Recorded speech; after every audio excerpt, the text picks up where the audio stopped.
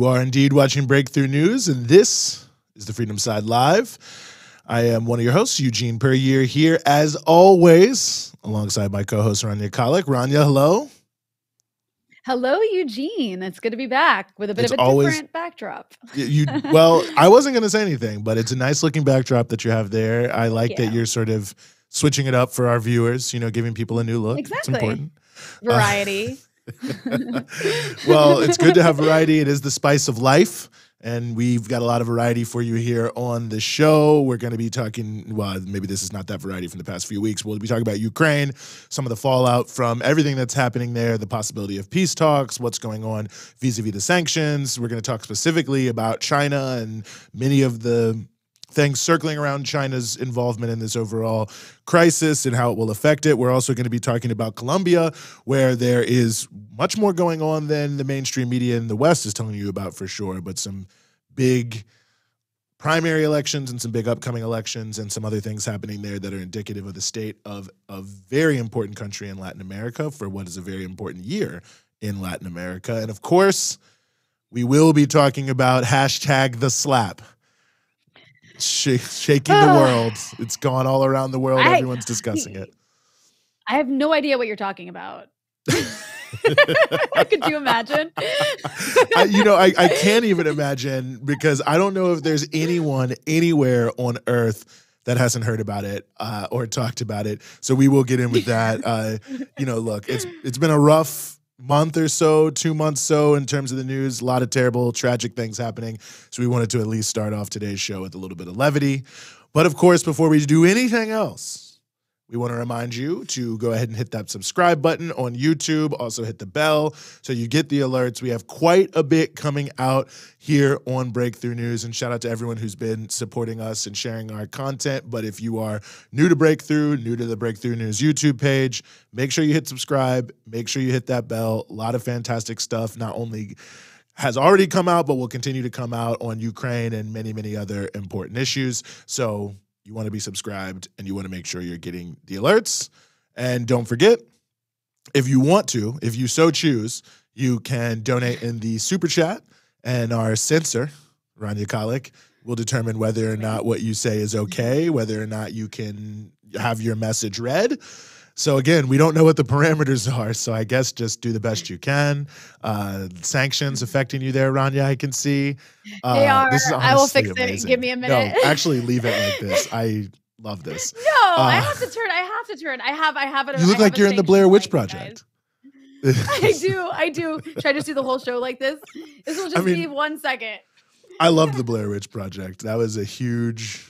I don't know. I'd love for people to post in the chat if they thought that was real when they first saw it. I did. Uh, it's a whole other story. Um, so yeah, we've got plenty for you here, plenty coming. You obviously can go to patreon.com slash breakthrough news and become a patron as well if you want to support us. Thank you for putting that down there. There we go. We gotta just get Rania back. I don't want to go on with the show without her. I could, but that wouldn't be that wouldn't be right. There we Our have it. fans wouldn't like that. There you go. Welcome back, Rania. Anything I'm you'd sorry, like to share with the Blair Witch us in your time in the dark? Yeah, I just uh woof, you know, it was it was a rough time, but I made it back. I almost didn't find my way. You really did look like the no, it's it's Project. it really is incredible, man. This is the this is what happens when you live in a sanctioned country. Sometimes the lights just go out. Yeah. and you gotta Well, if they're not on. careful, and people in Germany and might be having the same thing happen sometime soon. right, But right. we'll get to the impact right. of sanctions on Europe and the rest of the world. yeah. But right now, we want to turn to the slap. Slap heard round the world. Really amazing that this happened. Very, very honored to be joined as we continue the show by good friend of the show, Ciara Taylor, popular educator, grassroots organizer, and artist. Ciara, welcome back to the Freedom Side. Oh, you're muted. Oh no. We got those gremlins. Those technological gremlins. Oh, I can't hear you. Nope, not yet. Okay, we're gonna All we're gonna we're gonna fix it get and bring there. it back. We're Those gonna make it. We're glasses. gonna fix it. I like that you've She leaned into the Gremlins thing. Yeah, I like that. She just has to turn on her sanctions proof uh lights like I did like I did. Yeah, I actually read a, a great article last year from South Africa from a journalist about the load shedding and he was just discussing the broader like all the middle class people in South Africa, all the things that they've done to you know try to make sure their life doesn't seem any different but the power was out i yeah. guess for so long he was like my solar panels weren't oh, working no. my batteries were drained and like it, the whole thing oh, was a mediation on how poor and working class folks are experiencing such a different type of life with the concept of load shedding which there isn't because of sanctions unfortunately due to extreme mismanagement of the electrical grid but it is it was a very interesting conversation well, so about how Lebanon, people the workarounds well, Lebanon is both of those things too, and I think that sort of mismanagement exists in a lot of uh, countries that have like neoliberal rot, if you will. Mm-hmm. Um, but yeah, I mean, it's like, yeah, middle class people do suffer from like inconveniences, like having to get up and like turn on your your little like generator. Um, but yeah. yeah. no, there are people who go all day without electricity. Like well, real quick, because I think we have Ciara back, but I I just have to say oh, this. Okay by the way, Jim, shout out to you for your comment. But Lucille, Lucille Bollocks, also a great name in the super chat. Thank you for your donation. Habibi of Shadows, Rania Witch Project 3. I love it. I like that. Can we produce that? Can I think we can. That? I, I think we like, can. Okay. Breakthrough All right, films. We're on it. Thank you for the, thank you for the donation. yeah, that's. I think we have Ciara Taylor back with us. Hi, can you hear me? Now we can hear you. Yes. Yes. Okay, great. I was you. planning to talk about the Ukraine, but I guess the powers that be don't want that. So I guess we'll talk about the slap heard around the world. I mean, you know, I've, it's what's allowed. Whatever, if you if you like to comment on Ukraine, I'm sure our listeners would be happy to hear it. Uh, I'd also like to see if you could tie in the two. That would be the real the real uh, showstopper. But we did want to bring you in because you are such a great commentator on everything, but certainly the way uh, culture affects us all. I know you and I were talking during and after the slap you actually alerted me to the slap, Ciara. Uh, and so, you know, it's honestly been over a week. Chris Rock, of course, did a stand up last night in Hollywood for those who didn't see it. He did not mention it. He started out, he just said, how was your weekend gentleman. with a wink and everyone laughed and then he just said i'll talk about it later but Ciara i mean i, I honestly don't even know where to start here i mean I, would ask your take but there's so many different elements to it but I, I guess what was your first reaction I guess when you saw it and then uh, texted me about it. Yeah, I mean, I think I told you my partner and I were having a debate as to whether or not it was real and if it really happened. We've been watching the new edition of The Fresh Prince of Bel Air. Mm. And so we're like, all right, Will Smith's trying to come hard with the West Philly, like rebrand. um, but I, I had a feeling I was I first thought, and I remember us texting about this, I first thought that it was a punch. And I was like, it couldn't have been a slap. That's way too disrespectful. And it turns out, yeah, that disrespect came in. Yeah. We, you know, one of the things, go ahead. Why is it more disrespectful? No, you go ahead. You go ahead. And then, well, I mean, so I was just going to say, like, I've luckily, you know, had so many people send me memes and, you know, text and, you know, God bless the internet. And I think that it's really, uh, you know, some of the comments that I've seen, it's just like really interesting how hardcore some of our people go.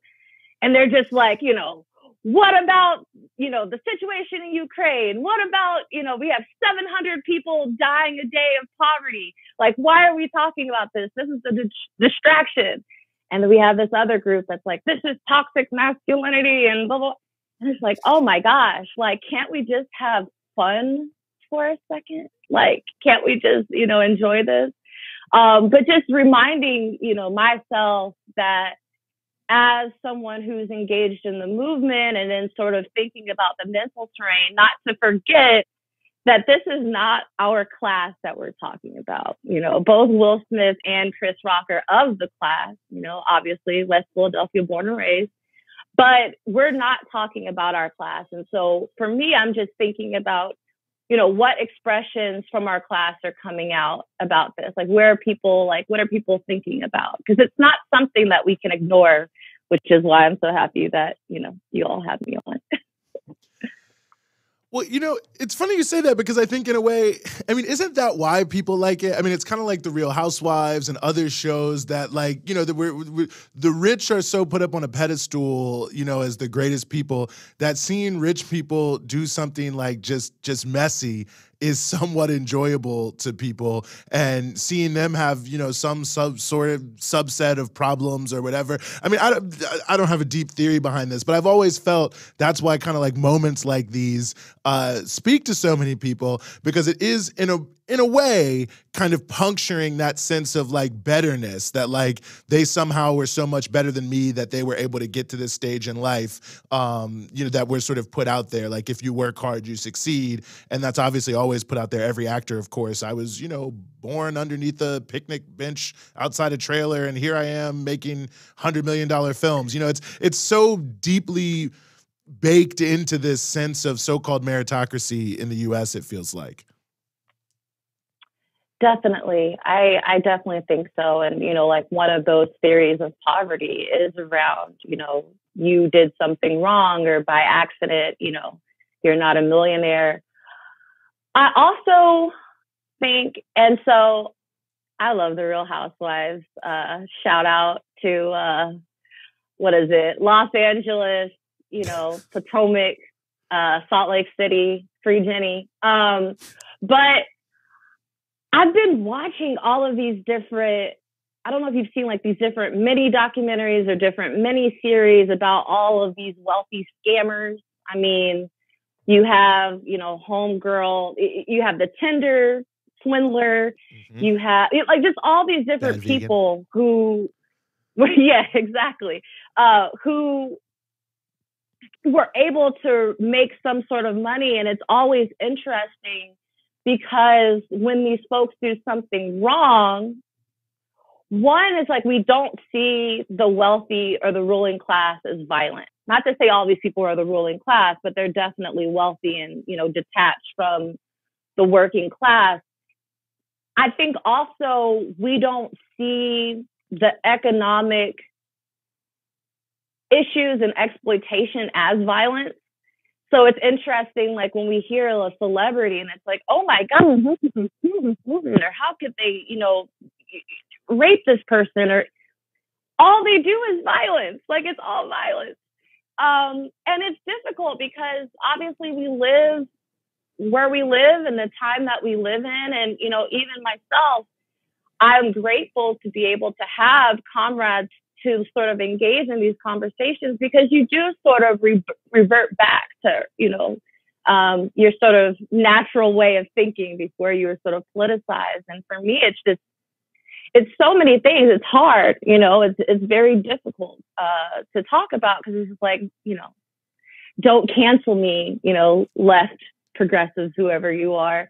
But it is hard. Like as a black woman, I do think about um, you know, obviously we're not in the same times as chattel slavery, but I do think about Black men not being able to protect Black women. Um, mm. I do think, you know, like, oh, wow, here's this person sticking up for their partner, you know, obviously not in the way that, you know, we all can or all able to. Um, and it's also like, damn, Chris, like, sorry, you have so many women in the audience who shaved their heads that you could have pointed that to. Do you really have to pick the one woman who's been battling yeah. this disease out in public to make your GI Jane? I mean, Tiffany Haddish. Come on, she's probably yeah. starring in some weird remake of GI Jane. You know, like I, I come on.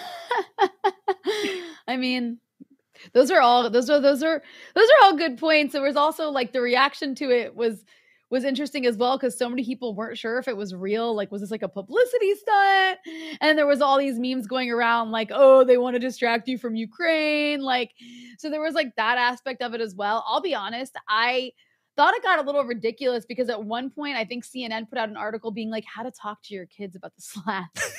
and I was like, all right, now it's just gone. Are you serious? Like, calm down. Yeah, I'm like, do you know, like, yeah, they're getting slapped every day face in school, like, at you know, with the cut of the welfare child tax. Like, come on.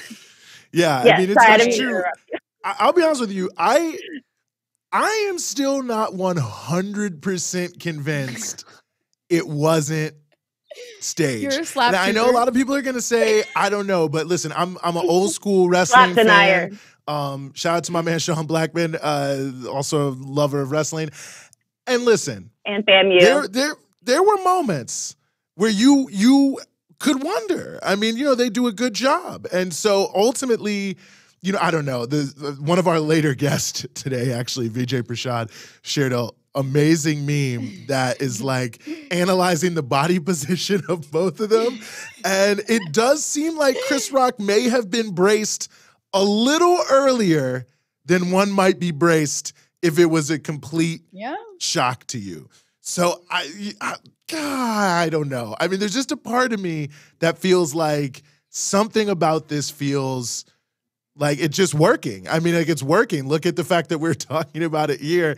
And, you know, is anything a coincidence anymore? I don't know. So I could obviously go either way. I mean, I could see, you know, from the comments that Will made himself later, you know, at a certain point, people are always making jokes about you. Chris Rock had actually already carried them in 2016 at the same award show that maybe you just said, I'm going to do something this time. I don't know. But I don't know. I, I see the thing on the bottom. That's a really I mean, funny I lower think- third. Yeah. Hashtag slapgate I mean- was an inside job. Yeah. That's good. I don't know who wrote it, but it's I good. mean, I I like it. I like it too. Shout out to the breakthrough team always. Um, yeah.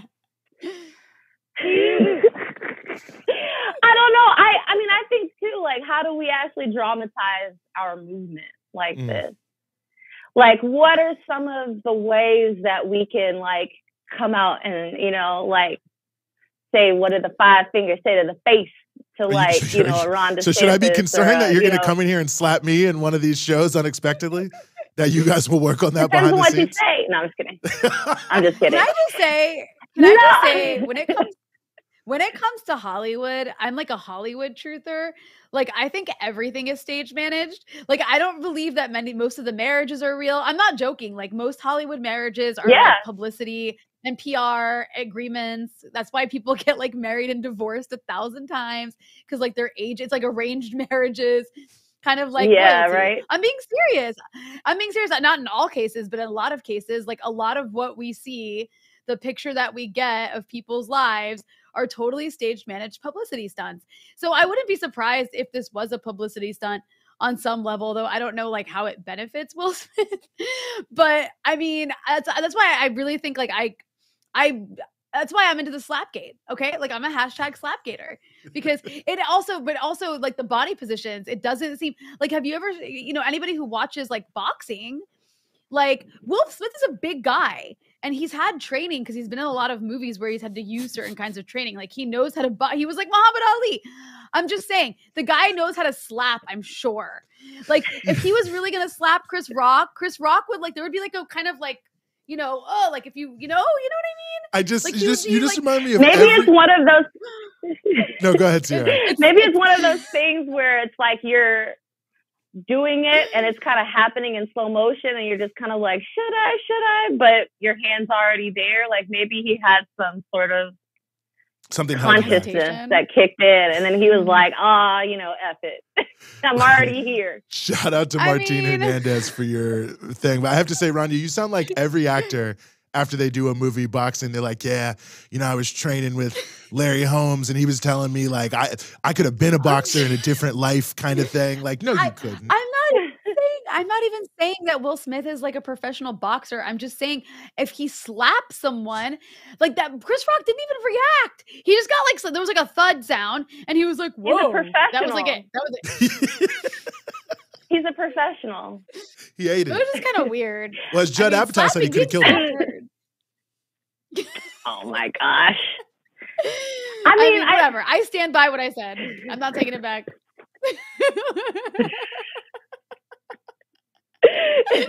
Eugene looks I, you know, not to not to get all serious, but I am here and I do have a little bit of time. I was just talking with someone earlier about uh Muhammad Ali actually, who, you know, Will Smith played in a movie and got his boxing chops apparently. but like, you know, Muhammad Ali's I was talking to someone today about like developing leaders, and I know I'm sort of switching a little bit, but I think there's so many conversations that are happening right now and opportunities for us to like engage with folks and see who's talking about what and how they're talking about it. And I find some of my like leadership development like comes from like Muhammad Ali's uh, coach. Mm. He had this thing where he would never tell Ali when he was doing something wrong. He would always just, you know, sort of encourage him and just sort Angelo of engage Dundee. him and build that trust and have those conversations. So just thinking about in this moment, like how are we identifying folks that are having like a conversation that, you know, like we can actually engage with them in and like build with them and bring them in so that we're not like just squandering this opportunity, but using it in a way that we can actually pick up, you know, the masses of people who are just like either like, what does this have to do with it? Or like, oh yeah, like let's get out and, and do something. I don't know. Mm-hmm. No, no, no. I think it's that. a good point. It's sort of like, you know, how do you take what's given to you and make something? It's sort of a lemon lemonade kind of thing. I think is what you're saying. Is that obviously when you have? Yeah. Uh, we talked about this with the Judas and the Black Messiah when you were on. Sort of, we don't control the production of these things, but once they're there and it's once it's a conversation and everybody's talking about it, you know, the everything's political, as they say. So there is yeah. a question of like what we take from this. Well, before I let you go, then Ciara, you tell me what what is your takeaway from the conversation uh, that you would want somebody who's maybe not as politically active but just talking about this what would you what what uh, parallels would you draw i don't know why i have a pencil in my hand sorry well yeah i would actually talk to people who are politically active because i feel like that's the base that you have mm. um, a lot of folks who are like you know getting conscious or who are conscious and actually like fighting and struggling so i guess i would say just a takeaway is just like don't be that person who is like shutting down these conversations and is just like, well, you know, blah, blah, blah, you know, like, how do we, again, just like use this to actually build relationships? Um, I think is like the key takeaway. And how do we as revolutionaries like use this moment to like identify where the class is, like where folks are in the mental terrain, like what work do we need to do um, to like take people just that one step further. Like, how do we engage? Um, I mean, yeah, I, I actually have a one thing that I would like to pub. So, um, and folks might know with the Poor People's Campaign, a national call for a moral revival. Um, we are planning a, a national gathering in Washington, June 18th around the issues of systemic racism, poverty, ecological devastation, militarism, and uh, sort of like the distorted, distorted mer- uh, narrative of white Christian nationalism. And in preparation for that, for folks who are in New York, we're actually going to have an art build. So if you want to get creative, if you want to engage in the terrain, maybe you could make a poster with Will Smith smacking the ruling class um, come out. Uh, we'll be at People's Forum this Saturday, 1 to 4, uh, in preparation for a march on Wall Street, April 11th. Um, and we'll be gathering at 4.30. Um, Putin and the slap. Hmm. How do I tie in the Ukraine? I don't really. Yeah, there's a lot there. Uh, there's a lot there. I'm going to tell you what. I'm gonna I'm gonna let you ruminate on that. We're gonna bring you back on the connection between Will Smith, uh, and perhaps Bel Air and Ukraine and Putin. I actually, yeah, I saw an amazing Venn diagram, but we're not gonna go there. Ciara Taylor. I was gonna show it, but I, I, don't know if they're ready yet. I don't know if they're ready. ready for that. They're yeah. not. Uh, Ciara Taylor, as always, it was a pleasure. Thank you so much for joining us here on the show. Thank you, Ciara. Thank you. And Rania, stay stay tough out there. I know you will. Um, and you. shout out to the Breakers. Thank you. Love y'all. right yeah, there, there's honestly, I did see someone made a Venn diagram tying Putin, Will Smith, and something else Woo! together. It was quite. That funny. is going to be an interesting conversation, but we're not having it tonight. I know. Well, we'll always be here. We have a lot going on. Of course, this is again why you should subscribe to our YouTube and hit the bell for the alerts. You never know what we might be talking about. I don't even know if this is set, so I'm just going to throw it out there. And if it doesn't happen, blame it on someone else. But for fans of Bad Vegan, get ready. There could be some interesting, very exclusive content coming here on Breakthrough News. If you liked it on Netflix, you might want to take a look, but we'll, it's coming Oh. soon. Oh, uh, nevertheless, okay. subscribe, hit the bell. me. That's what you want to do. Um, well, we're actually going to turn to someone who I've already mentioned on this show tonight. That's Vijay Prashad, the executive director of the Tricontinental Institute, who himself is engaged in a little conspiracy over the slap. Vijay, thank you so much for being with us. It's a pleasure to be with you. Thanks for having me. Yes. I'm sorry we have to talk about things that are not exactly slap worthy, but No, this no, no. is really worse than a slap, what we're going to talk Yeah. about, I think. it's way way worse it seems like it's only getting worse i I mean you know one of the Mhm. things that has obviously been a big theme this week is the the growing ripple effects from the massive sanctions regime and from the war itself biden spoke at a press conference today he is now calling all of the economic challenges happening in the United States, quote unquote, Putin's price hikes. But obviously, we're looking at hunger. I mean, I know you've been writing a lot about this, Vijay, but it does feel that, you know, now as we get into the second month, really more of the story is starting to become that all around the world, there's some very serious challenges starting to emerge. Well, you know, um, there's no doubt that the question of fuel prices and food prices is going to be the dominant theme uh, for most people outside perhaps Europe and North America, where the focus is still on the war. Um, I interviewed people in Central Asia um, around the president of Kazakhstan, for instance, who gave a State of the Union address last week um, in which he basically called for reconstructing Kazakhstan's food sovereignty. Um, Kazakhstan, uh, Turkmenistan, these Central Asian republics are going to be hit immediately because their economies are yoked to Russia. I mean, that's a normal uh, situation since they are right bordering Russia, landlocked countries which rely on Russian ports uh, for the exit of their own energy uh, resources. When they sell energy to the world, it goes through uh, the ports in Russia. And so they have been hit terribly hard. You know, uh, I was told in Uzbekistan, 65% of an average person's bill, their income goes to food. This is going to increase by 5 6%. That's catastrophic for people. It's catastrophic.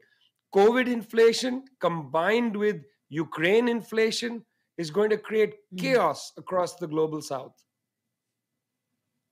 Yeah, you know, Vijay, I think I mentioned this when we, you and I talked a few weeks ago on dispatches. Shout out to dispatches. Um, but the, you know, we talked about the the ripple effects uh, on the global south, and I mentioned that just being in Lebanon, you know, the uh, price of gas of oil has already risen, and it was already so expensive here because the government reduced subsidies. And I'm not suggesting that the global south is in a position to handle the coming crises better. I don't think the global south is in a position to, but I think it's going to really shock the global north um, because usually the global north is quite, because it's the imperialist core, is quite immunized uh, from these sorts of shocks. But when we see what's happening with Russia saying that you have to purchase our oil and gas in rubles, it looks like the Europeans are saying no to that so far. Uh, there's, you know, I'm hearing from my family in the US that the price of everything had already gone up pretty dramatically even a month ago, even two months ago. And now it's increasing even more. We're hear- hearing about price hikes in Germany. What do you think this is going to do to politics in the global north? Because you're talking about economic recessions, really, that are affecting the average person uh, in ways that none of the governments of these countries, despite how wealthy they are, seem to be willing willing to even foot the bill for. I mean, they weren't willing to foot the bill during COVID, really, especially in the U.S. Um, and they seem to be telling everyone that well, freedom has a price, and the freedom, you know, that the freedom that we have to protect from Russia, I guess, is the price of you have to pay a lot more money for everything. How do you think that's gonna that's gonna you know how, what are the consequences going to be on politics in in Europe and the U.S. Well, in the United States, there's actually a little more room uh, for maneuver because the US is largely um, food secure. You know, the- food imports, especially things like wheat and so on, are not a big part of the average person's bill. There'll be inflation, but that inflation was largely due to the COVID supply shock. You know, that's why the food mm. Uh, price of goods was had gone up before. The United States is also fuel um, sufficient. In, in other words, the United States is going to be relatively cushioned from this. It's Europe that's going to be hit hard because Europe relies on um, Russian natural gas and oil, for instance, not only for fuel, but also as an input for fertilizer, which means long term food production in Europe is going to be damaged. Um, Europe relies on grain supplies from Ukraine. I mean, between Ukraine and Russia, 23%, roughly, maybe a little more, of world grain supplies come from just these two countries. Uh, you know, you talked about Lebanon. In 2010, there was a drought that struck Ukraine and Russia and, and various other countries, but the drought in Russia and Ukraine was severe. Many people looking at those uh, two droughts conditions in those countries suggest that the so called Arab Spring, one of the spurs of it was the drought of 2010. In fact, people in Egypt were on the streets saying, bring down the price of bread. Um, so mm. I think that in fact Europe is going to be hit pretty hard. And you know, it's it's a question that Europeans need to ask themselves, Rania, which is, look, you know, you're allowing yourself to become the doormat for the ambitions of the United States. Um, you know, U.S. President Joe Biden has said, "Well, we're going to just open up the spigot of the strategic oil reserve." Well, that's all very well. How are you going to get it to Europe? He says they're going to mm. sell liquefied natural gas to Europe. You've got to build new terminals for liquefied natural gas. That's not created out of Legos in a day. That's going to take years to construct. So, in fact, in the short term, as now, Europe is going to continue to buy energy from Russia. And eventually, they are going to have to come to an agreement. It could very well be that in the end, they don't insist on a ruble scheme, but they might come up with some other scheme, a barter scheme or something. It's not going to be the case that uh, these countries can pivot so quickly. In fact, the Chancellor of Germany told Mr. Biden if we ban Russian natural gas now, we will go into a catastrophic recession. That's pretty strong words from a German tra- chancellor.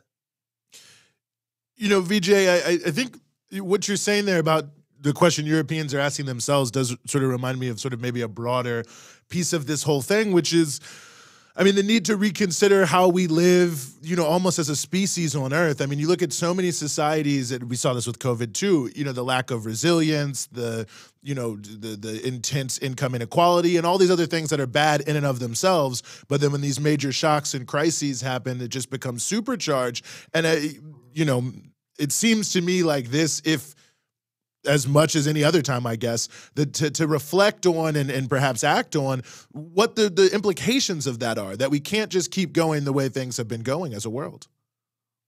Well, you know, right after 1991, Eugene, there was a big push that came from the World Bank in particular for basically food market liberalization and globalization. In other words, to allow food uh, production all over the world to be integrated and you know four to six companies began to dominate the world food market. Six multinational companies dominate the world seed market. Uh, that form of globalization earned lots of profits for the big corporations. It also to some extent increased food production in some uh, particular crops and so on. There are some advantages to these complementarities. You know can't entirely dismiss it what it meant was, Eugene, in the middle of the COVID pandemic, when supply chains were disrupted, it was a wake up call because integration was all very well. But once the supply chains began to collapse, integration is a nightmare. And that's why you have president of Kazakhstan, you have presidents in um, in Africa talking about, you know, I mean, I was quite struck by fairly conservative presidents in West Africa talking about the need for food sovereignty, not only food security, which is a Treaty of Rome phrase, but they're using terms like food sovereignty. And, you know, it's one thing, Eugene, you know, when the United States attacked Iraq in 2003, there was a problem because um, oil from Iraq went offline. Well, at that point, Saudi Arabia could just pump more oil out of the ground. And Saudi Arabia became, in a sense, the insurance policy uh, when you attack or sanction a oil country like sanctioning Venezuela. Saudi Arabia is always available to pump more oil.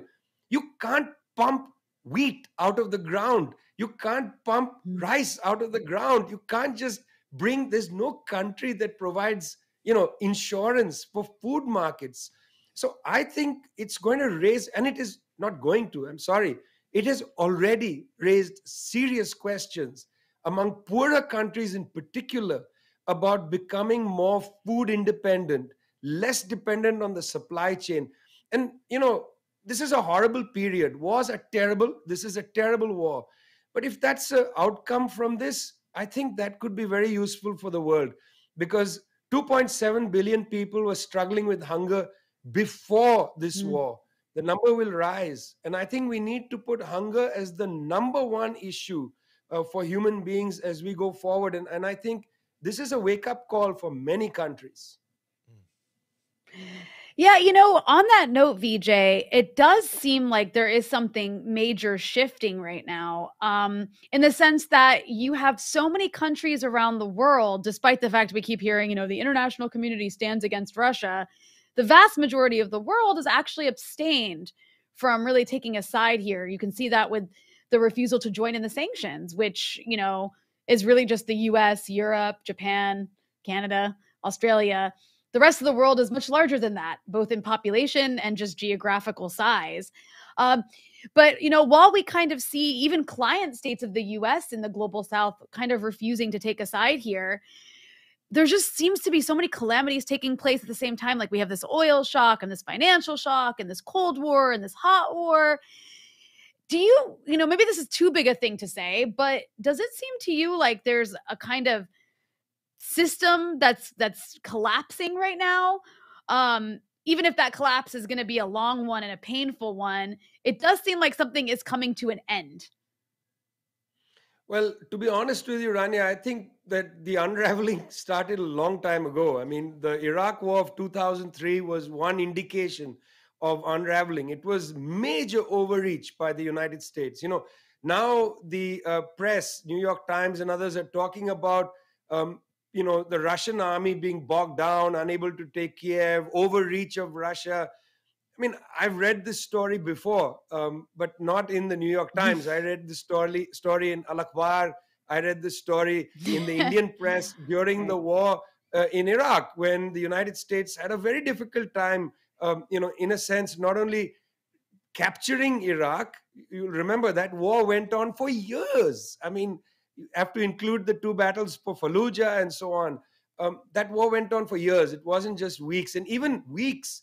You remember when the troops left Kuwait, they were bogged down in a sandstorm for for I think I think it was over a week. The the sandstorm stopped the the transit. So the United States bombarded um, Baghdad with their heavy artillery from the skies, which is bombers and so on, and cruise missiles. Terrible, violent bombing of Baghdad.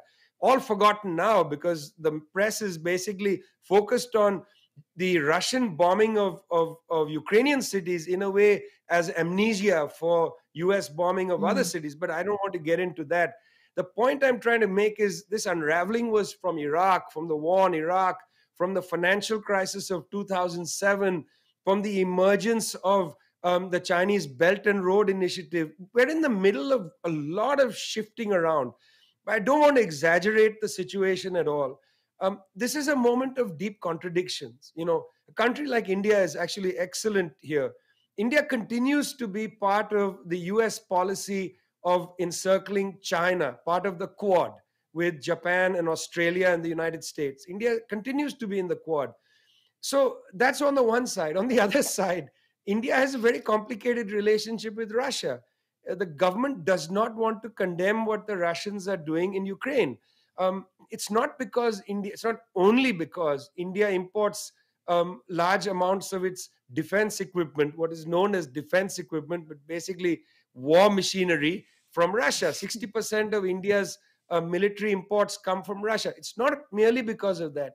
It's also because India is keen not to see, and this is my understanding from talking to people in the external affairs uh, division in India. People are keen not to see um, a conflict with a major nuclear power escalate out of control. Uh, people are hmm. very scared of this. You know, yes, there have been previous wars, the war on Iraq and so on, but the war in Iraq in 2003 did not include two nuclear powers, you know, um, which might get into even a so-called accidental clash. Now, India and Pakistan have been to war with each other since both have had nuclear weapons. That's true. Um, they both tested nuclear weapons in 1998, and then they went to war in 1999. Very bad timing, fellas. Very bad timing. But fortunately, yeah. that was an engagement that took place in the Kargil area uh, in Kashmir it was contained. Fortunately, it didn't escalate out of control, but it could have. And many of us were very worried at the time. So I think there's a, this is a moment of great contradiction, not clarity. I don't think we can say, you know, we're moving from a unipolar world to a multipolar world or anything like that. I think that's premature. We are at a time of great um, motion. I'm not sure which direction it's going to go in, you know, the reason I hesitate from saying US unipolarity is over, Rania, is because the US still has 800 military bases around the world. It still has a forward policy that no other country can match. Recently, the mm. Solomon Islands, just you know, a couple days ago, decided to sign an agreement with the Chinese. This is a very significant development because it's China's attempt to break away from this first island chain that the US is setting up in the Pacific to encircle the Chinese. The United States has basically built a wall around China. Uh, just because they signed one agreement with the Solomon Islands doesn't mean weakness in the US military posture. We can't let our eyes off the fact that the United States continues to be the most powerful and aggressive country in the world. Um, and they are not going to let any new world order appear without a major fight. These are very, very dangerous people. Mr. Biden might somehow sometimes sound incoherent, but he's a very dangerous man. No, I think that point is very well taken and notable. Right after that Solomon's Islands Islands deal in Australia, the whole thing became should Australia invade the Solomon Islands to check China? Well, Vijay Prashad, as always, deeply appreciate having you here. Tricontinental putting out excellent things on all of these issues, including on hunger, but appreciate some of your very valuable time here on the freedom side. Thanks a lot. Mm-hmm. Yeah. I mean, there's there's Always a lot good. there. There's a lot to it. I, I tend to agree with what Vijay is saying that it's a time of great contradiction, not clarity. I think that yeah. you know there. I mean, it's fine to have strong opinions, but I feel like there's so many people who are carrying on one way or the other on either side who act like they know everything yeah. about everything and they can predict everything about what this means and whether it's good or whether it's bad from their point of view.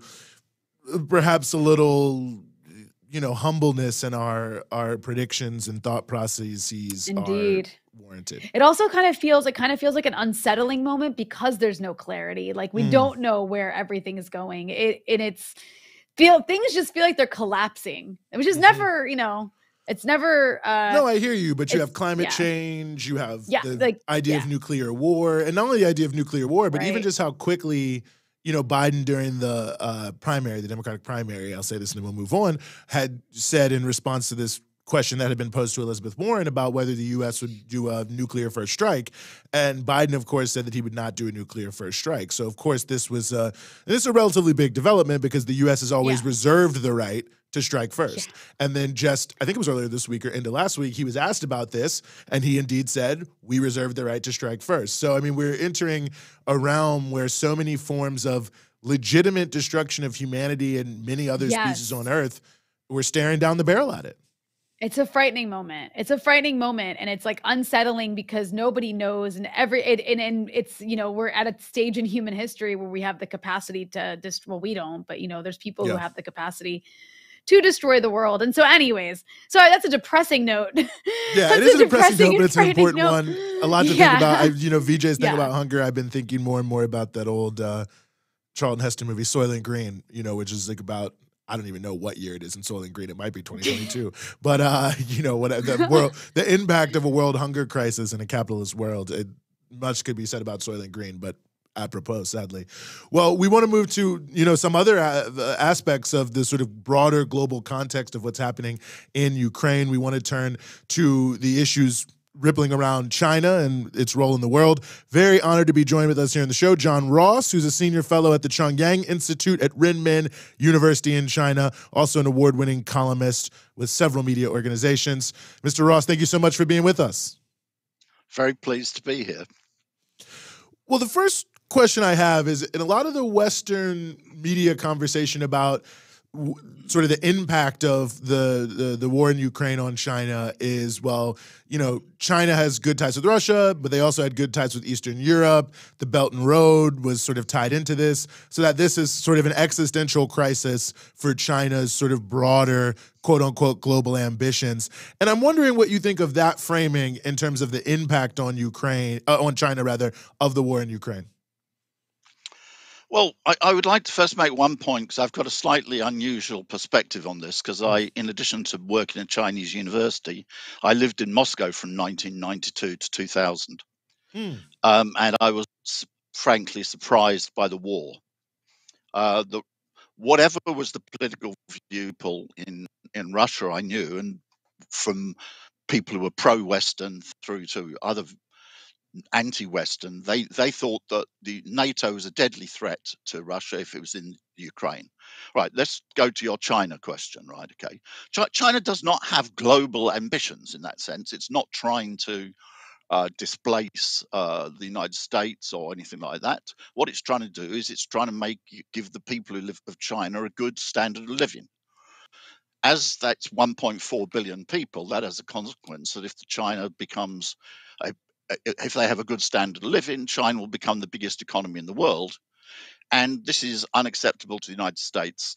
And the only the United States has already lost the economic war with China, uh, particularly for unipolar polar one. China's economy has grown much more rapidly. The US economy is now only 16% of the world economy. That means 8% of the world economy is outside of the US. The if the United States re- retains overwhelming supremacy so far, or is, uh, but in the nuclear field, it doesn't even have overwhelming supremacy in that because the Russian nuclear forces are a match for the United States. So mm-hmm. China sees the situation as that the United States is attempting to prevent the people of China having a decent standard of living, which means they have to keep China poor and there was a big military threat to that. And that's why China has emphasized such questions as the advance of NATO as very, very desperate for the whole world, including for China. So it's not that the uh, China is attempting to do anything. China is just attempting to defend itself and deliver a good standard of living for its people, but it understands that the advance of NATO against Russia has big negative consequences for that. On the flip side of that, I'm curious. You know, you mentioned that you were surprised by this war. I think we all were. You know, no, um, I, I was. I wasn't. No, no, Rania, oh. I said I oh. was not surprised. Oh, I'm sorry. I misunderstood. Okay, then you were one of the few who wasn't surprised by this particular war. I think there a lot of us were kind of like this. I mean, even the Russians were making jokes about it. I think a lot of Russians were surprised by it.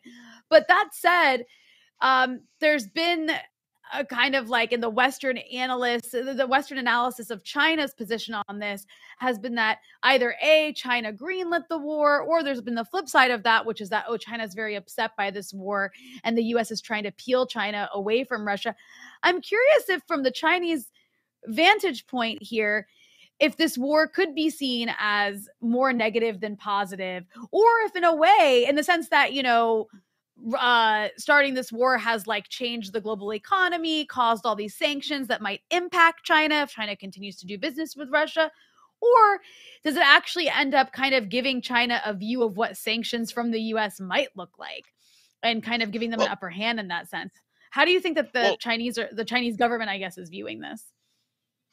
I think that the Chinese government uh, would not necessarily have chosen the methods which were adopted by Russia to deal with the question in, in, Ukraine. I don't believe, therefore, the Chinese government in any way gave some sanction for this conspiracy theory. But it also understands right. what is the reality of the situation. It understands perfectly well that what the United States really wants in Russia is regime change and I that don't I just mean about Putin. They want a return to the situation which existed in the 1990s when the government of Russia under Yeltsin was completely subordinate to the United States. Uh, and uh, any form of government which stands up for the independent interests of Russia is unacceptable to the United States, whether it's led by Putin personally or by somebody else. Um, and that this is, of course, a very great threat to China because it would mean that the United States would be on China's northern, uh, a government controlled by the United States would be on China's uh, northern border.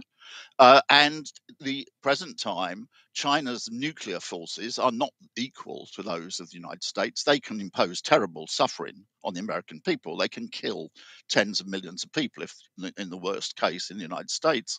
But they can't completely obliterate uh, the United States, whereas Russia can completely obliterate the United States. Its its nuclear forces are the equivalent to the United States, and therefore, the, in the situation, the good relations which exist between Russia and China are a protection of China against the aggression by the United States. Uh, China is very well aware that it, it knows the United States when it tried to bring Ukraine into NATO was the line, as they put it, of the of Russia. It was perfectly conscious. This is a new escalation. The United States was previously prepared to attack much militarily weaker countries, Yugoslavia, uh, Iraq. Uh, this time, the United States was prepared to carry out a consciously confrontational policy with a nuclear armed state. That is a qualitative escalation of the US. Mm. Then, secondly, the US is trying to nibble away at a red line of China, which is the one China policy. The United, this has been the basis of uh, relations between China and the United States. Uh, Nixon's famous visit uh, to Beijing in 1972, and the United States has deliberately sought to undermine um, such things as inviting uh, the, the so-called Taiwan government to Biden's inauguration, uh, sending higher and higher delegations there, and therefore you have a the China is aware that the United States is attempting to cross the, the red lines of a very powerful state, Russia, and it's also simultaneously attempting to cross the red lines of a, another very powerful state, China. So this is a this is very dangerous escalation mm. of aggression uh, by the United States. You know, one other thing uh, thing I've been wondering about, and certainly curious your thoughts on, is this issue of so-called secondary sanctions. Of course, the United States has been sort of I don't know, sort of intimating that if China, you know, quote unquote, does too much to help Russia, that you know they'll also be in the crosshairs. But I mean, that seems like quite a, a, a dangerous road for the United States because you know if China is more aggressively sanctioned by the United States, they will be forced to retaliate. But so much of the U.S. economy is deeply tied in with China. That feels like a strong leverage point there uh, to at least some degree have a bit of a hedge against the U.S. attempts to punish them for continuing to to trade and work with Russia. Yeah, so the United States, if you had peaceful competition with China, that's just economic competition, the United States would lose. Uh, that's why the United States is tempted to use military means. Let's just take the last two years of the pandemic. During the last two years, uh, the US economy grew by 2.1%. Uh, that's taken the two years together and the Chinese economy grew by 10.5%. That is, China's economy grew five times as fast as the United States. And the United States, if it engages in an economic war with China, will lose it. And therefore, this throw this this therefore poses a very great danger. There was a notorious statement made by the German chief of staff von Moltke in 1912, which is in which he said, "War is inevitable, and the sooner the better." This is frequently used to show the bellicose character of Germany, etc., etc. But actually, it was very rational. At that time, both Russia and the United States economies were growing more rapidly than Germany. Uh, and if there was going to be a war, therefore, the sooner the war took place, the better. From Germany's point of view, it was, it was a rational calculation. This is the danger which exists for the United States at the present time that having lost the econ- its economic supremacy. We can discuss whether the Chinese economy is, is actually already bigger than the US economy or still a bit behind it or whatever. And certainly in certain technological fields, the United States still has the lead. But the United States is losing in peaceful economic competition. And therefore, the very great risk is that it will turn to increasing military uh, action. That's what is the path of escalation that we've seen over the last uh, more than 20 years. And the Chinese government, I'm very sure, is very aware of this situation. And therefore, it knows that the uh, not this threat of expansion of NATO, which is what has really caused the war in, in Ukraine, is is a big threat to China. It's perfectly capable of doing those rational calculations. I'm sure it does. Yeah. And then, you know, when we think about the the role of China in all of this, you know, China has tried to step in as sort of like a mediator. And China actually does have a very big trade relationship with the Ukrainians. Do you see a role for China uh in helping to mediate this conflict in any way or is it seen as too one-sided? I don't think that uh, this is this is my interpretation. I mean, I there is a big debate in China on this immense mm. thing. I mean, the, to give you an art, an art, an example, I wrote an article on Ukraine published in Chinese. It had 500,000 hits in less than 24 hours, and I'm not the biggest author in China either. That's just to show you the, that that's just to show you the level of interest, right? Okay. Oh. Uh, unless unless there was a desire of Russia and Ukraine for China to play a mediating role, I don't think it would wish to step in. What it would like mm. is it would like a peaceful solution to this situation. Um, I'm sure that the position which is put forward by the Russian government and which is now long last being accepted by Zelensky, that uh, Ukraine should be neutral I'm, i would think that that would be very much in line with what China's government want. I've got no private information on this, but a, a, this would be a rational calculation for what it wants. But I don't think it's not going to try to insert itself into the situation. Other people are playing that that mediating role at the present time. That would be my view. Mm.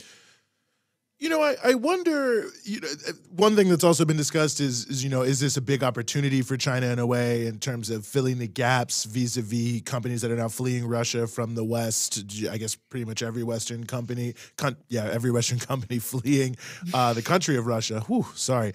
Uh, you know, how do you view that? I mean, is China in a position? I mean, obviously they have big deals in certain areas, but are you expecting a lot of Chinese companies to sort of rush in and fill the breach here, or would they even be welcome in Russia from some of the uh, Western companies that seem to be walking away from their investments? The, the, framework of China is that China wants to get in with peacefully building its own economy. I don't think it likes a war going on. Um, and on the other hand, it understands all the military aspects that I've explained at that time. Will Chinese companies uh, take advantage of uh, sanctions against Russia, etc., to build up position of Russian uh, to build up their position in Russia? I would imagine so, yes.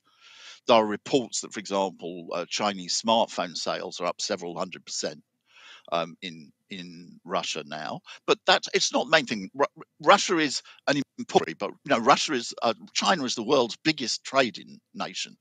It has much greater trade, even with the European Union or the United States or even ASEAN, than it does with Russia. So it will take advantage, I would assume, take advantage of any business opportunities, but it's not pursuing an aggressive policy of attempting to create an opening for itself. And I would think that overall, as I said, its judgment is that the war is a bad thing. I'm curious what you think about the way that uh, so far these really unprecedented sanctions against Russia have have been dealt with. When we look at the the kind of global reaction to sanctions, you see the vast majority of the world abstaining. Um, mostly the global south, but the global south is a huge majority of the world, uh, including China, of course. And that has certainly helped, I, I think, you know, not immunize Russia from the impact. Obviously, this is going to be very destructive for Russia's economy. Um, but it definitely makes a difference when you have a huge economy like Russia's, when a lot of the world is not going to play into the sanctions. What do you think that means for China? Because China is a way bigger country than Russia. It's, I think, way more integral to the world economy in so many ways. If I'm China, I've got to be like looking at this and thinking, like, we're not sanctions proof, but we have ways to get around what I, you know, what seems to be America's favorite weapon at the moment in terms of the way it deals with its adversaries. Well, certainly, if we look at the trade war that Trump law, quite clear conclusion we can all arrive at it is the United States has lost it.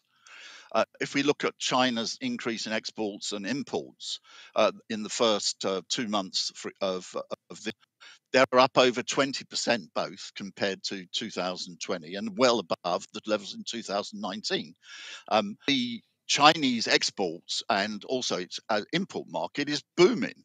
The uh, has there been some damage to China's exports to the United States? Yes, there's been a bit, which has been paid for the price by the US people. The sanctions, again, mm. not the sanctions, the tariffs against China are costing each US family several hundred dollars. It's done a bit of damage to China's trade to with the United States, but the China's economy is so powerful, as the figures show, that it's been easily over, able to compensate for these losses in the United States and in other parts of the world. As I said, if you look at the last two years, it's just come through it very, very much better uh, than the United States. That's why the United States the, it doesn't really want to engage in peaceful economic competition with China because when it does do so, it loses. Yeah, no, very well taken point, and it'll be interesting to see how all of this shakes out in the context of the ongoing war. John Ross, really appreciate you being willing to join us. Also, just have to mention your book, China's Great Road, which you can get from 1804 Books here in the United States. But thank you for giving us some of your time here on the Freedom Side, Mr. Ross. Very pleased to be here. Mm-hmm. Well, Rania, I think very well taken points. You know, I, I, was thinking about this issue of uh, what he said about how the U.S. has lost the the war with China. Yeah. I was thinking about this the other day because I was reading an article about how Turkey has built some I think it's the world's largest steel factory. I don't know if that's true, but it's a huge steel factory and it's running off of all renewable energy from solar wow. panels on the roof of this giant factory. The solar panels are all set up by Huawei, who, because they've been blocked from all these other things, has now pivoted to all sorts of other smart technologies and has created this, like, I don't know, some technology that helps optimize and move around all the different solar panels to make sure it gets a lot of power. And I just thought, wow, I wow. thought that they were crushing Huawei two years ago, um, but now it seems they've pivoted uh, to, to another very wow. lucrative uh, area. Are you suggesting, Eugene, that sanctions are green? or encourage green innovation? Because that's what i took out of that. That is what i took no no but to, in all seriousness that is that is actually like really interesting and really and i i really believe that as awful as everything is right now the you know the us is kind of doing this sort of self-destruction. Uh it has no choice. Like just like people say Russia had no choice, maybe like to, I don't know if that's true, but you know, people have made the argument Russia had no choice. They had to do, to go to war uh, because it was like NATO was coming for them. In a way, the US has no choice but to carry out these like self destructive maneuvers mm. because, like John just said, the US can't beat China uh, in a fair way when it comes to economics.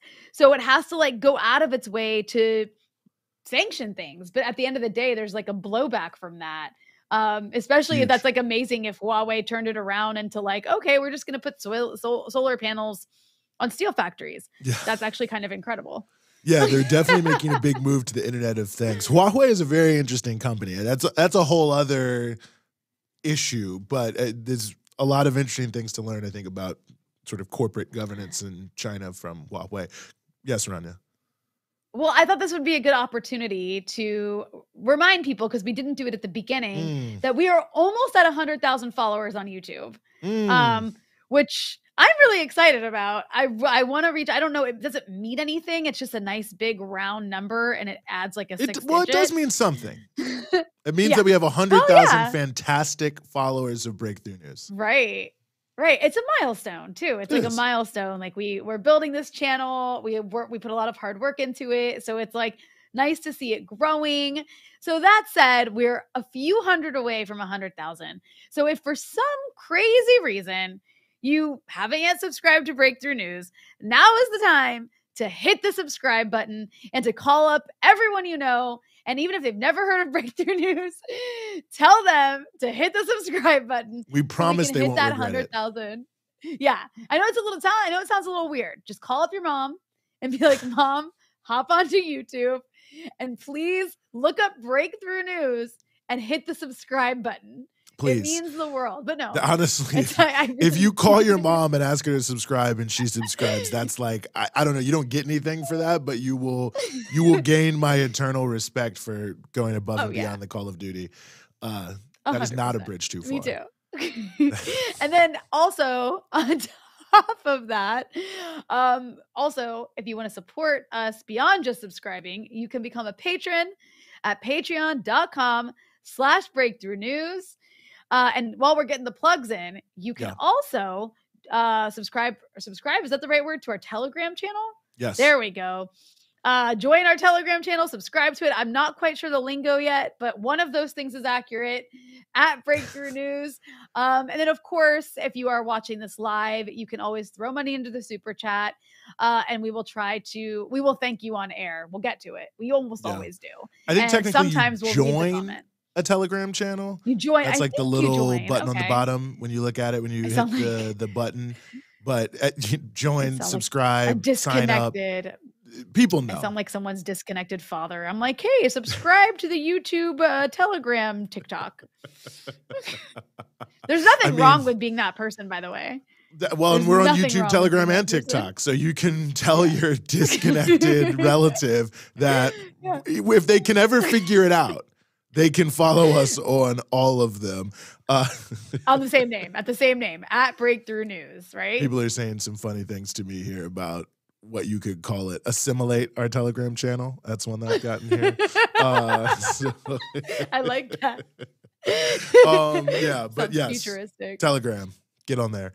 Um, and at BT Newsroom across all your social media platforms, breakthroughnews.org. So we are everywhere, as it were. Uh, but yeah, no, I think this is an important issue. I mean, both what John and Vijay were bringing to the forefront, I think, is that you know, pretty much all the various contradictions of society are coming to a fore. And I think there, you know, Vijay said this relative to to Europe. I think that, you know, what John is saying is very relevant to to people in the United States is, you know, who is it really benefiting to have these, you know, Cold War style policies towards China, you know, be pushing the NATO right up to the border of of Russia and, you know, nuclear saber rattling going on. I mean, given all the challenges that we face, as a world, as a species, certainly as a country, you know, who is it really helping? Which one of those problems is any of this stuff really solving? And I think when you drill down on that, you'll find that it's it's basically none of them. It's not solving any of the problems. In fact, it's only exacerbating them. You talk about climate change.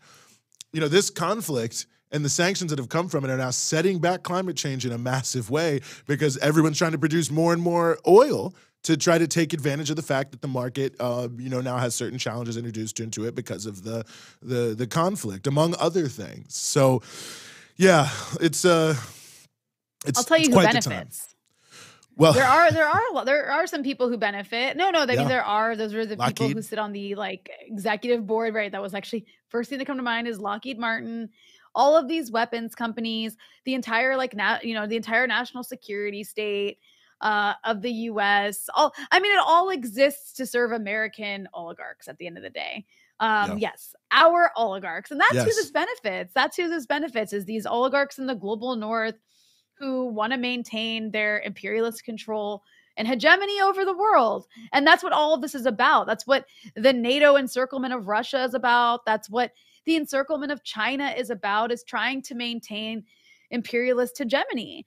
Yeah. Uh, and it's, you know, and the the more you know resistance to that the more they fail whether it's in afghanistan whether it's in syria whether it's in latin america whether it's in you know in china in russia the more that they fail the more that they're gonna kind of like push back violently and harder and that's what Vijay means when these people are incredibly dangerous they are incredibly dangerous because you know, they will it's like they'll take the world down with them if they have to. They're they, you know, the US is not gonna go down without a fight.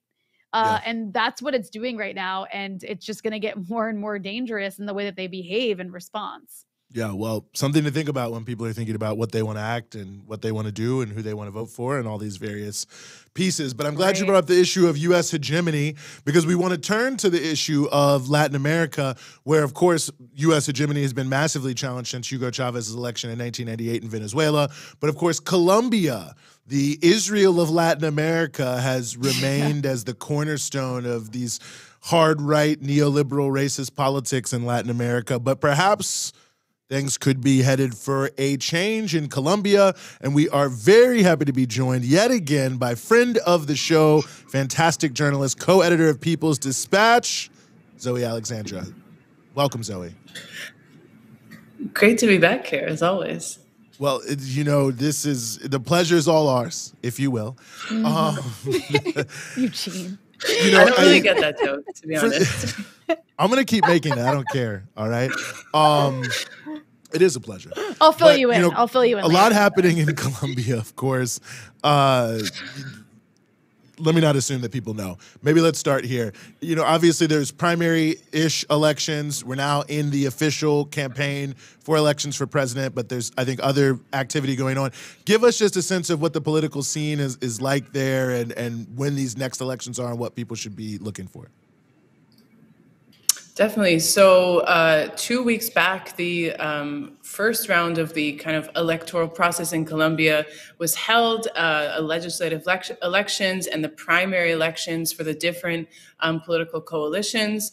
Um, and so, in this, uh, people were able to vote for who's going to represent them in the in the Senate, in the House of Representatives, and also who they wanted for, uh, within each um, coalition, who would be the presidential and vice presidential candidates. This also kind of serves as a litmus test of how much support the, the, that these um, coalitions have. Some pe- many people drop out after this first round um, as presidential candidates, seeing if they don't have enough votes. They join to other coalitions, so it's a really important moment.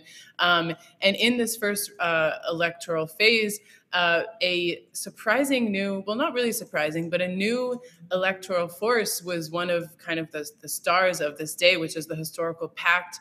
This is a progressive alliance, a coalition of many different parties in Colombia, led by uh, presidential now presidential candidate Gustavo Petro. He is a, a longtime um, political activist in Colombia. He was active with the um, 19M movement, uh, which was an armed movement in Colombia in the urban centers. Um, he then, uh, with the transition, with the demobilization of this group, he entered institutional politics, um, was active in the legislative realm. He was the mayor of Bogota. He's been a senator for the last several years, and he really has galvanized um, left forces and progressive forces in Colombia that have long been uh, divided, that have long been, you know, suffering campaigns of persecution.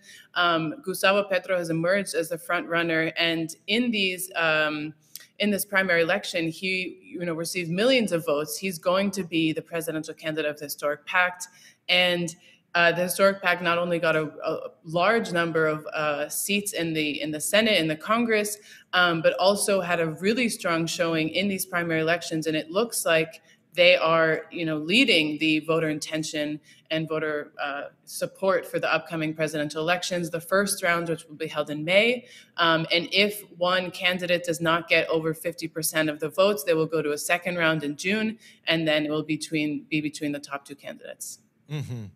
Well, you know, one other notable aspect, sorry, that I just want to get to here that I was hoping you could speak to about the primary is the emergence of Francia Marquez as the running mate of Petro, which is also quite historic.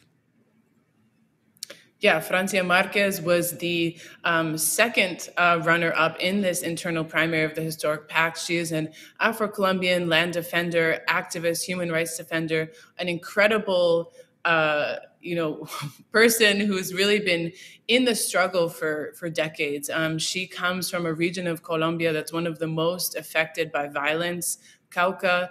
Um, she was really active in her community in resisting an illegal mining project. She walked all the way from her town in Cauca to Bogota, demanding that the authorities take action um, for the destruction that was happening of her community, the, you know, assassination of people in her community. Um, she has long been, you know, active in Colombia's diverse and plural social movements, and she's really emerged as kind of the representation of these movements that have so long been shut out of institutional politics, that have been annihilated, assassinated, um, repressed, persecuted, and it's giving a lot of incredible energy really. I mean people that have been so sidelined you know historically for decades for for centuries really afro-colombian communities that have been so oppressed and so marginalized. And to see that a woman like Francia Marquez, who comes from Cauca, who's an Afro Colombian woman who fights for the rights of Afro descendant communities in Colombia and across the continent, is now the front runner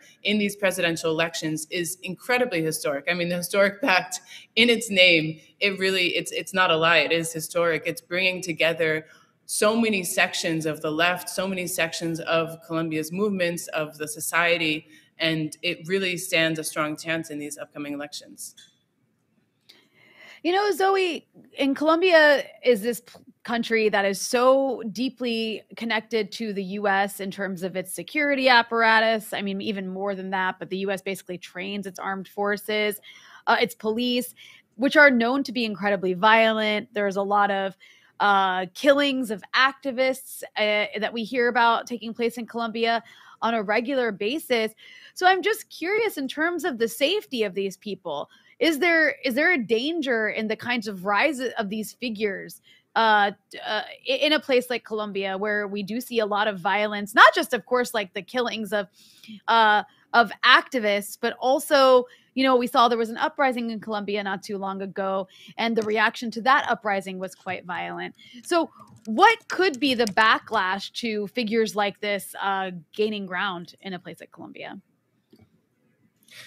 I mean, already we've seen it. So uh, Francia Marquez was only confirmed as the vice presidential candidate, you know, in the past week, and since then there has been an onslaught of threats against her. Um, she's received several death threats, and you know, this is not new for her. I mean, essentially, if you enter into activism in Colombia, you almost expect to get death threats, and especially if you are a prominent voice. She's received several from the uh, the group Aguilas Negras, which in recent years has been kind of ubiquitous. Anytime there's a movement, an uprising, the Aguilas Negras uh, will release a statement threatening, you know, many, many prominent people of death. She's received horrific, uh, you know, slandering campaigns on social media, in actually mainstream media, Colombian media, racist statements, horrible, horrible things. And I think people are really worried about the, their safety. She's uh, personally asked President Ivan Duque that he has to take action to ensure her safety. I mean, right now, the fact that on Twitter it's almost trending the hashtag don't kill Petro really speaks to the fact that you know it's it's there's a real danger here. I mean in there is precedent for this. Um, uh, the member of m19 who was going to run for president after the demobilization uh, was assassinated. He was the presidential candidate carlos pizarro leon gomez uh, he was very popular. He was coming out of this demobilized uh, guerrilla group and he was assassinated. There's a lot of precedent for this happening in Colombia. That being said, of course, this is not the 1990s anymore. It would be, I mean, really, hopefully, this is not something that will happen. Hopefully, Ivan Duque will actually take measures to ensure their safety. They, of course, have many different security uh, frameworks, but I think the fact that this is even happening, the fact that presidential candidate, vice presidential candidate is under such threats is really concerning and speaks to the fact that being a social leader, being a human rights defender in a country like Colombia means that your life is constantly in danger and not just from online trolls, but people who actually could come to your house and kill you, like has happened to so many people in Colombia. Mm-hmm. Most trade unionists killed of any country on earth regularly, year after year. Well, you know, I think this is a, a, a good sort of segue into, I think, an important issue is, you know, were uh, Petro and Marquez able to be successful? You know, what are some of their policies around certainly the peace process, but what are some of the other things that they're proposing, and what would that mean for for the nation of Colombia? So, you know, as Colombia being uh, Latin America's Israel, um, it has, uh, you know, not only is it dangerous to be an activist, but the whole setup of society is really, um, you know, made in order to favor um, the elites and exclude the majorities. So, for example, access to healthcare is extremely challenging in Colombia. There was a law passed during uh, the presidency of Alvaro Uribe Vélez, which essentially privatized many of the health services. So millions are left without without health care. There's a famous kind of like urban legend of people dying in the doors of the hospital because they're unable to get um, health care. So one major uh, point of their platform is ensuring healthcare, nationalizing healthcare, um, access education. So when Petro was mayor of Bogota, one of the principal axes of his uh, of his time as mayor was you know, democratizing access to education. He worked a lot with the homeless communities in Bogota. He worked a lot with these marginalized communities. People had not been able to have access to education and ensuring they were able to enroll in adult education programs. And in Colombia, again, the higher education is extremely expensive, it's extremely uh, inaccessible. People are now forced to take out huge loans or try to get lucky enough to get some insane scholarship. But democratizing access to education. Um, housing, of course, is another huge issue. So all of these essential rights are key tenets of the platform. And then, you know, even looking at the energy uh, sector, Colombia is, like its neighbor Venezuela, a huge exporter of oil. It has vast, vast reserves of oil, and this has been to its detriment. Um, it's a country that has uh, 40 over 40% of its territory um, in, in, in, concessions to mining companies, to oil companies. And none of this wealth, none of this mineral wealth, none of this uh, natural resource wealth has actually benefited the communities.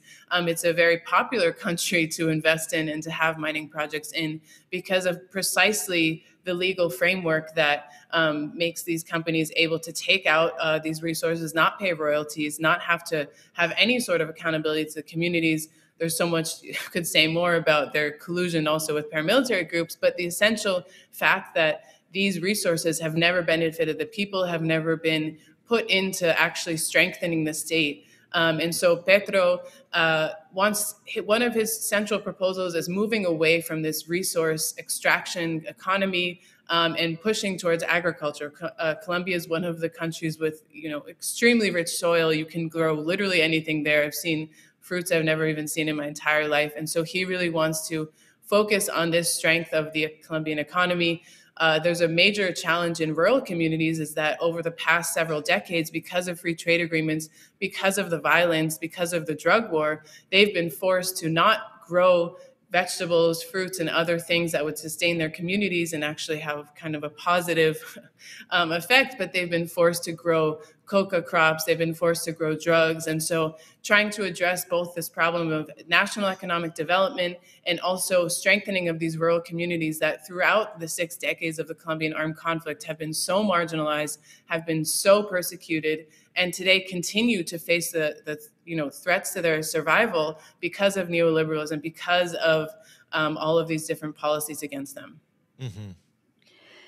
And Zoe, you know, not to make everything about Ukraine, but I think just to kind of go full circle here, I, I think it would be interesting just to know what is the you know you you pay attention to like the colombian media and what people in colombia are talking about and colombia is a very close state to the us um, that said you know it's not like they've taken an extreme position against russia as far as i know in this war on ukraine and i'm curious about how that war is playing out at least in the way it's being discussed in a country like Colombia that is very much aligned with the US but isn't necessarily trying to antagonize Russia as far as far as I know. Again I could be very wrong about that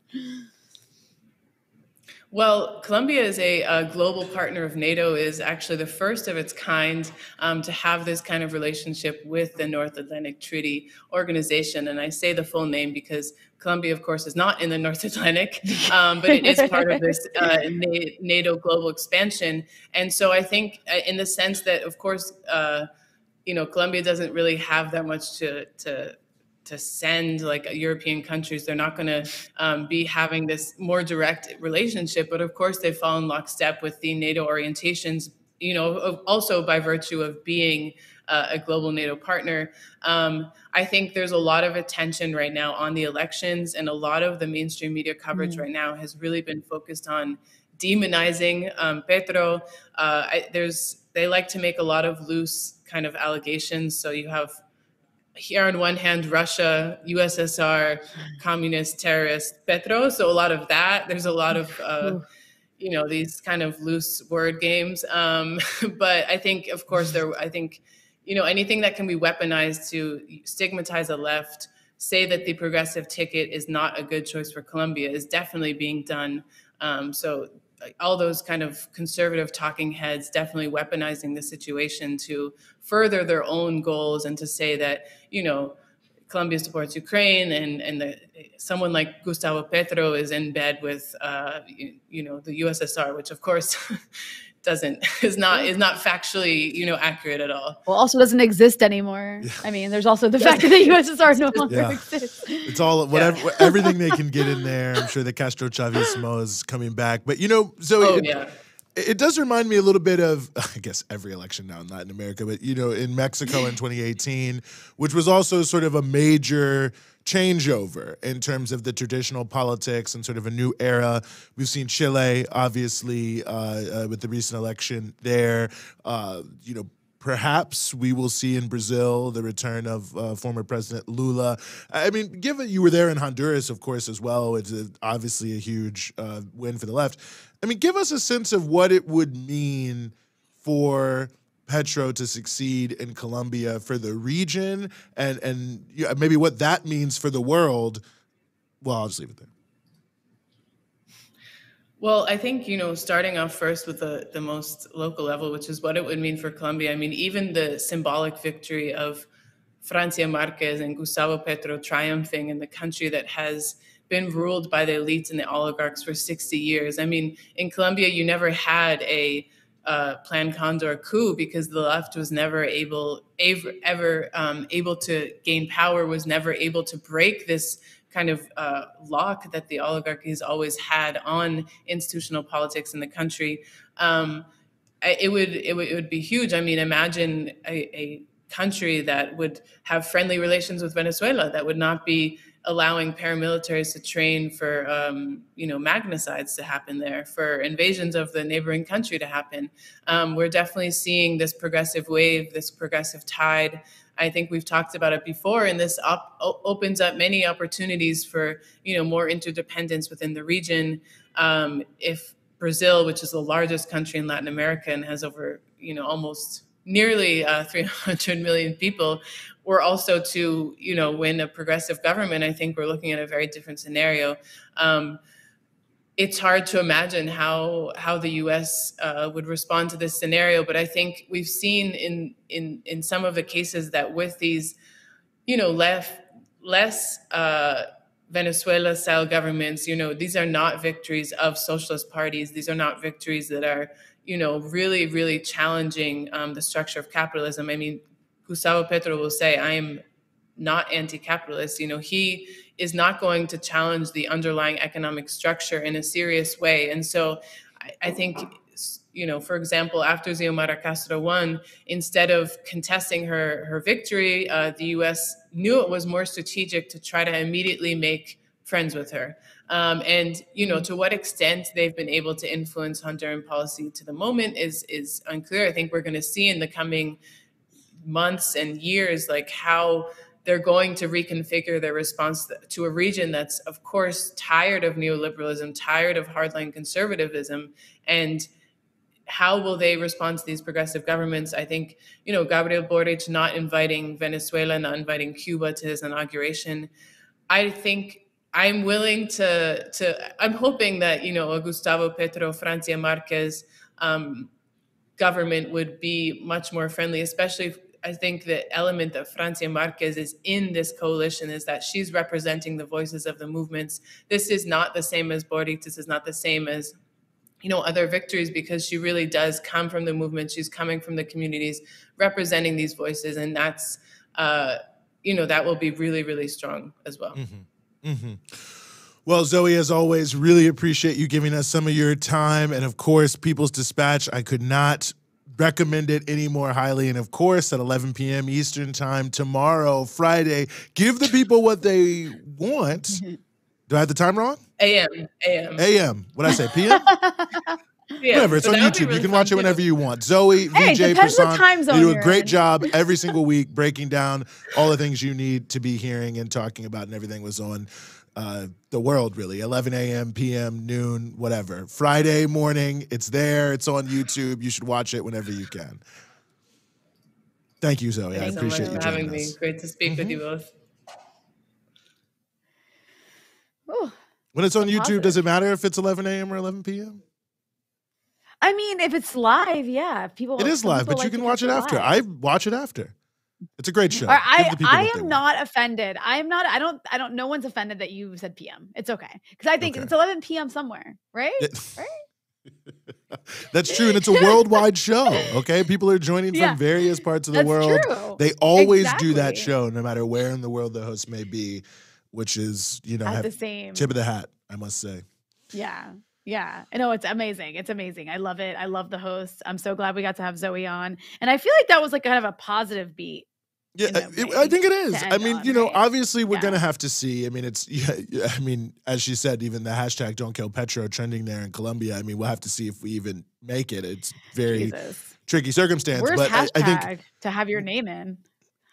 if what looks like is going to happen is going to happen, I think this could be huge for Latin America, really a game changer. And if you twin it with a win by the Workers' Party in Brazil, I think what Zoe's saying, there's a lot of different contradictions and challenges of all of these sort of pink tide countries. But be that as it may, I do feel that it raises a very new element into or back into this conversation on sort of the worldwide scale of where things are shifting because and we've talked about this on the show before Rania I mean I don't think that a quote unquote multipolar world is an unalloyed good I mean there has to be some sort of pole that emerges a social pole if you will a popular pole if you will that promotes a politics for a, a different kind of world and I think the movements in Latin Right. America have been talking about that and, and sharing their own proposals and thoughts and ideas for that. We, you know, you've seen the Alba Alliance put out the plan to save the planet. So there's all sorts of conversation and things coming out of Latin America that I think is extraordinarily relevant to the whole world and how we can move humanity forward. So this would be huge, I think, to have the main stumbling block to progress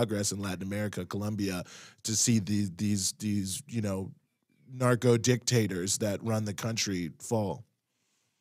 No, especially in a country like Colombia, which is, you know, one of the most, I think, secure American, has been one of the most reliable American allies, one of the most right wing countries, the sort of like base of the right wing in so many ways in Latin America for so, for so many years. And for there to be a shift there like this um, is actually really significant on so many levels. So fingers crossed, Yes. we're rooting for. Well, before we close, yes, we are rooting. Lucia Bollock saying that if we get 100,000 YouTube subscribers, I'll sing the International. I will not, but I not love that it. I'm against it. no, it. now you have to. You have to. I you have know no choice. that was never Lucille decided, but I mean, you know, I don't really need that much to sing the International. Just global working class solidarity, uh, and also uh, Macarius. Maybe I did not say that right. Anyway, shout out to you. Thank you for your donation. Really appreciate it. Saying great show so far. Thanking us for what we do. Macarius. Thank you for watching. Macarius. What's that, Ron? I'm going with Macarius. I'm going with Macarius. That's Okay, what I'm going with respect. for the name. Uh, But- either way, yeah. we're very grateful to you. Well, I think as always, Rania, that will bring us to a close for this week. You know, thanks to all our guests. Certainly, thanks to everyone who was watching us. Don't forget, we're now on Telegram. Well, okay, sorry. Well, Patreon too. Oh, there it is. Just a little head fake for you there. Just Um, you can shout join out social our media. Telegram there at Breakthrough News. I think someone was going to maybe drop the link in the chat, so perhaps you can join it that way. But there it is, Telegram at Breakthrough News. We are also, of course, accepting your patronage at patreon.com slash Mm-hmm. breakthrough news patreon.com slash breakthrough news you can become a patron there don't forget to subscribe on youtube hit the bell so you can get the alerts you can find us across all your social media platforms at bt newsroom we're also at breakthroughnews.org so that'll do it for us this week but rania and i will be back with you next week Música